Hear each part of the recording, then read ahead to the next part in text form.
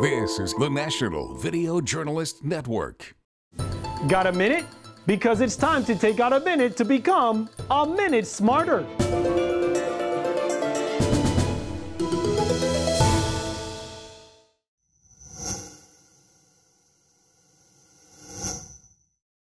Hi there, I'm Doug from Douglas & James. I'm going to show you how to make our signature banana split. You'll need a freshly ripened banana, three scoops of homemade ice cream, whipped cream, hot fudge, cherries, and peanuts.